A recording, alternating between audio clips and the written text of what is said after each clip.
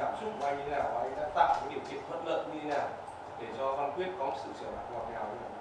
Thì các bạn biết rằng là qua một cái khoảng thời gian Văn Quyết ờ, chấn thương thì cũng là rất dài và là cái cảm giác nhưng mà Văn Quyết quay lại.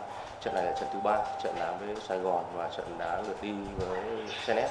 Thì Văn Quyết đều chơi rất tốt mà đến trận hôm nay thì Văn Quyết ghi được bàn. Ờ, trận Senet Văn Quyết cũng có cơ hội nhưng không tận dụng được thì hôm nay thì cái bàn thắng này thì nó sẽ giải tỏa cho Văn Quyết rất nhiều. Nhưng mà các bạn biết là khi mới quãng đường di chuyển từ Senet về thì Văn Quyết có hơi bị ốm thì đến gần đến phút cuối tôi muốn điều chỉnh cho Văn Quyết. Europe, Dạ.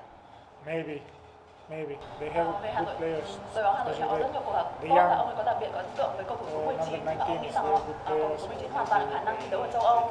nhưng mà thị trường châu Âu là một thị trường có ờ, cái sức cạnh tranh rất là lớn. và để thi đấu ở thị trường châu Âu thì ông nghĩ rằng là cầu thủ Ờ, Việt Nam thì cũng phải cần phải à, tập trung và phát triển một vài kỹ năng nhiều hơn. và cái thị trường châu Âu này ông ấy cũng không thể đưa ra một cái lời nhận xét gì quá chi tiết